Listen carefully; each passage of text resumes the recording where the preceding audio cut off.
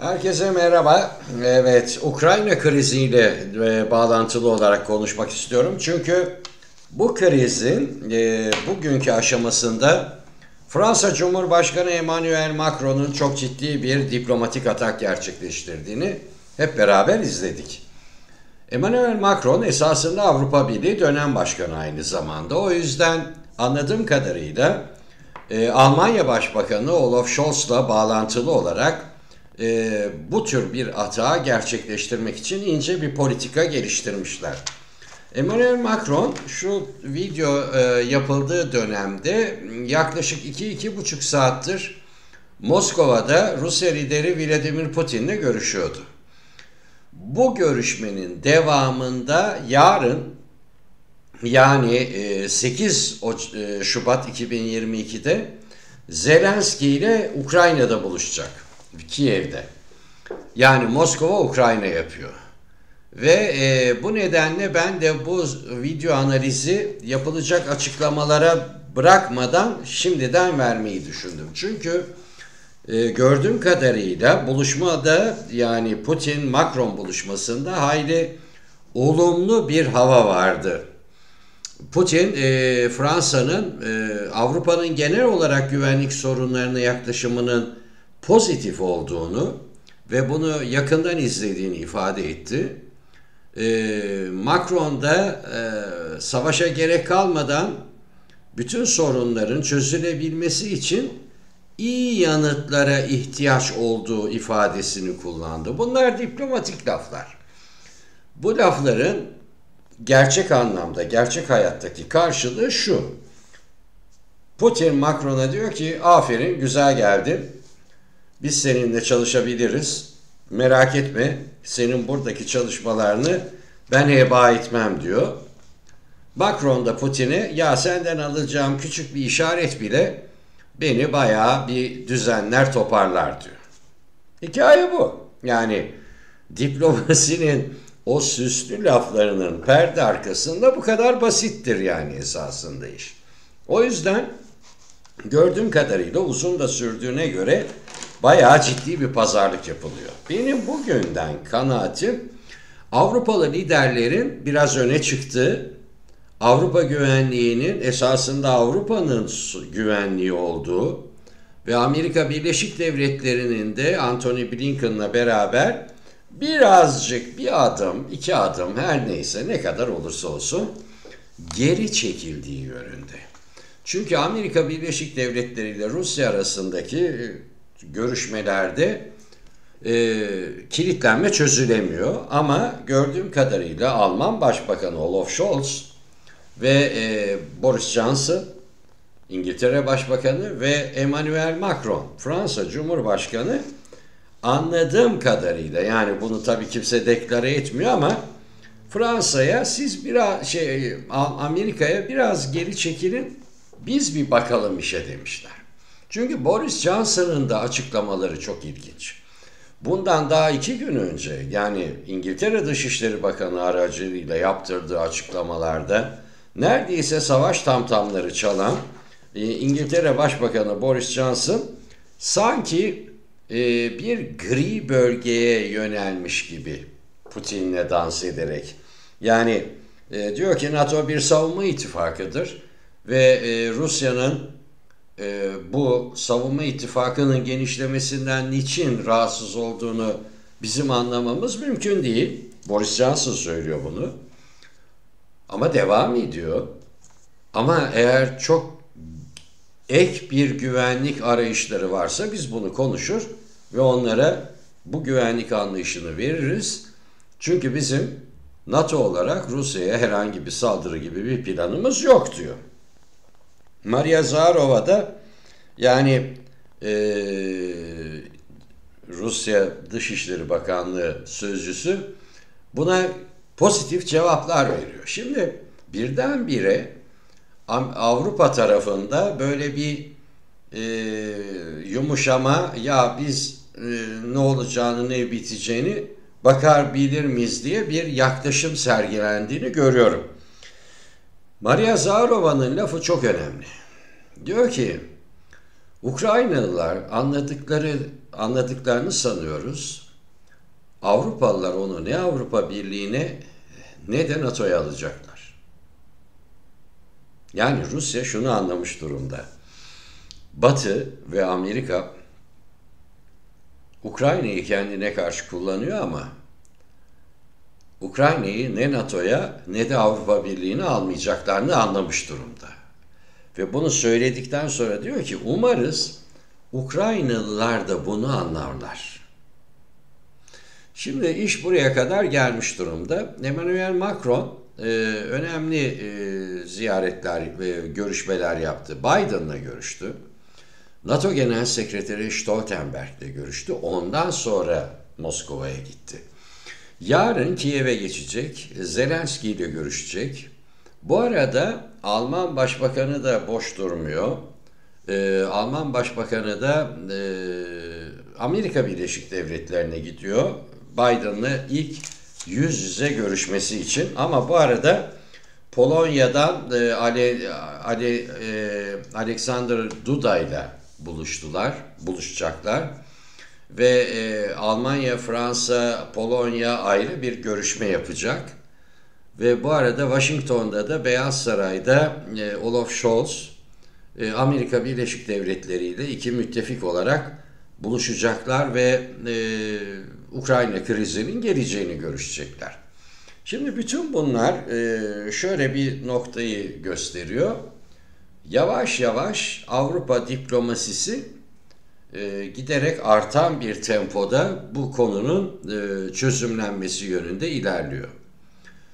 E, Amerika Birleşik Devletleri'nin 72 saat, 48 saat, 24 saat gibi e, zamanlamalarla Rusya'nın e, Ukrayna'yı işgal edeceğine yönelik bütün iddialarına artık İngiltere'nin bile çok fazla dikkat etmediği özellikle Ukrayna, Fransa ve Almanya'nın da ya bir dakika kardeşim pozisyonunda yaklaştı. Yeni bir dönem yaşıyoruz. Çünkü gördüğümüz kadarıyla e, Putin'in ordusu yani Rus ordusunun üst genel kurmay e, düzeyinde yaklaşımları e, anladığım kadarıyla Putin'in bu konudaki kararını etkileyecek düzeyde. Çünkü elde edilen bilgiler Rus genel kurmayının kendi aralarındaki görüşmelerden elde edilen kripto bilgiler e, Ukrayna'ya dönük bir işgal harekatının bedelinin çok ağır olacağına yönelik bir kaygı taşıdığı yönünde. Ve bunun da tabii e, Putin'i giderek artan bir şekilde daha esnek ve Avrupalılarla daha çok konuşmaya yönelik bir e, kimlik taşıdığını ve onları oraya doğru taşıdığını gösteriyor. Şimdi bu açıdan baktığınız zaman galiba biraz zaman kazandık. Ukrayna meselesinde. Belki de bayağı bir zaman kazandık. Çünkü e, bütün bu gelen akan bilgiler tek tek detayları vermek istemiyorum. Vaktinizi de çalmak istemiyorum akşamın bu saatinde. Bu kısa bir video olacak. E, gelen bilgiler Rus tarafının askeri ile sivil kanadıyla muhtemel bir Ukrayna işgalinin Rusya'ya nasıl bir bedel ödeteceğini üç aşağı beş yukarı anlamış olduklarını ve bu çerçevede de herkesin onuru, şerefi lekelenmeden bu meselenin içinden nasıl kalkacağına dönük bir yaklaşım sergilediklerini gösteriyor. Avrupalı liderler de Amerika'yı biraz geriye iterek siz bir durun diyerek Avrupa Amerika'ya bu yönde bir takım adımlar atıyorlar. Yani benim gördüğüm kadarıyla Ukrayna'nın özellikle e, tamam kapı açık olabilir, NATO'nun ilkeleri söylenebilir, NATO herkese açıktır denilebilir ama şu anda bir kriz bölgesi olması nedeniyle zaten fiilen Ukrayna'nın NATO'ya üye olması kabul edilemez bir durum. Buna büyük bir olasılıkla birçok NATO ülkesi veto edecektir. Ee, Avrupa Birliği'ne konusunda da aynı durum söz konusu ve Ukraynalılar da Batı desteğinin esasında benim 3 aydır yaklaşık söylediğim doğrultuda çok da güvenilir olmadığını nihayet anlamış gözüküyorlar. O nedenle e, Macron'un Putin'le bu kadar uzun görüştükten sonra Zelenski ile yapacağı görüşme ve devamında Almanya'nın da katılımıyla belki İngiltere'nin de katılımıyla çünkü İngiltere'de e, şöyle bir hazırlık yapıyor. Rus ve e, İngiliz Dışişleri Bakanlıkları İngiltere Dışişleri Bakanı Liz Truss'un Moskova ziyareti için çok ciddi bir hazırlık yapıyorlar ve 10 Şubat'ta bu e, ziyaretin Moskova'ya gerçekleşeceği yönünde bir prensip anlaşması yapıldığı yönünde bir de e, durum var. E, Alman Başbakanı da hareketlendi Macron'la beraber onu da söyleyeyim. Washington'a gidiyor. E, öncelikle Amerika Birleşik Devletleri'nde Almanya'nın bu konuda e, yürüttüğü politikalara dönük artan soru işaretlerini büyük bir olasılıkla cevaplayacak. Çünkü e, biliyorsunuz Almanya hükümeti e, Ukrayna'ya silah sevkiyatı konusunda çok ciddi engellemeler gerçekleştirdi. Ve bu engellemeler Amerika Birleşik Devletleri tarafından da çok sert tepkiyle karşılandı ama Scholz Alman hükümeti NATO savunmasında kararlı bir ülkedir. Bu Litvanya'daki askeri varlığımızdan bellidir. Ayrıca NATO'nun ekonomik finansal desteğinde en öndeki Avrupalıyız açıklamasıyla Amerika'ya da gitmeden önce bir e, mesaj vermiş oldu. Üst düzey Amerikalılar ise Almanya ve Avrupalı müttefiklerin düzenli ve güçlü bir koordinasyon içinde çalıştıklarını söylüyorlar. Olaf Scholz e, Biden'la görüşecek. 14'ünde Kiev, 15'inde de Moskova'ya gidecek. Yani Macron'un turunun tersini Olaf Scholz yapacak Alman bakan ve e, gerçekten başbakan e, gerçekten böylece belki de Emmanuel Macron'la beraber Avrupa'nın güvenliği açısından yapılacak yeni bir düzenlemede e, Putin'i bir şekilde e, ikna etmiş olacaklar.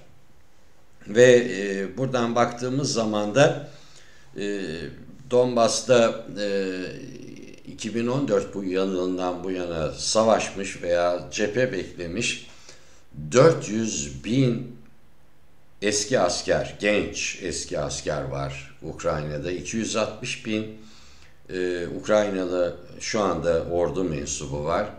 Yani Rusya'nın da bu tür bir işgal konusunda ciddi soru işaretleri taşıdığını ve bu nedenle diplomasiye sonuna kadar e, bir e, açık kapı bıraktığını görüyoruz. Macron'un iyimserlik içinde gidiyorum ama mucizelere inanmam sözünü ben ileride analizlerimde kullanmayı da düşünmüyor değilim. E, Jake Sullivan'dan bir açıklama var Amerikan Güvenlik Başdanışmanı. Rusya saldırırsa e, Kuzey akımı 2 petrol boru hattının e, kapatılacağı veya hiçbir zaman işlemeyeceği yönünde Almanya ile mutabakatımız var yönünde. Gördüğüm kadarıyla Batı kendi içinde yeniden yapılanıyor. Rusya oraya yığdığı yüz küsür bin askerin dışında sürekli diplomasiye izin vermeye çalışıyor ve diplomasiyle e, meseleyi halletmeye çalışıyor. Çünkü e, hep söyledim, hep söyledim. E, bu bölgede çıkabilecek bir çatışma, askeri konvansiyonel çatışma, yıkım gücü çok yüksek bir çatışma.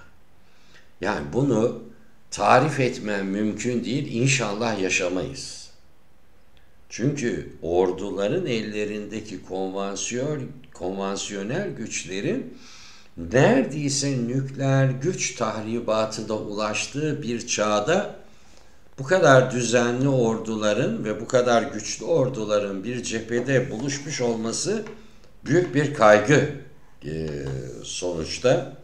E, anladığım kadarıyla Boris Johnson'da da bir yumuşama var. Olaf Scholz zaten baştan beri dikkatliydi Almanya olarak. Macron e, çok ciddi bir atak yaptı iki gün içinde. Bunları göreceğiz.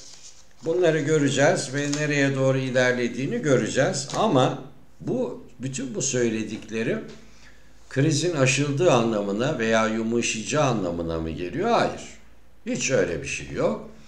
Çünkü Belarus'ta o yığınak var, Kırım'da o yığınak var, Ukrayna sınırında o yığınak var ee, ve e, istatistiklere göre bir işgal için gerekli askeri gücün yüzde yetmişini biriktirmiş bir Rusya ile karşı karşıyayız ayrıca. Yani e, bütün bu iyi cümlelerin dışında ona da bakacağız. Ama e, yarın eğer Zelenski açıklamasıyla Macron'un ve Putin açıklamasıyla e, ortaya çıkacak tabloyu daha iyi yorumlayacağımı düşünerek şimdilik gelişmeyi bir sıcak gelişme olarak e, aktarıp kesmeyi düşünüyorum. Hepinize iyi akşamlar diliyorum. Kalın sağlıcakla.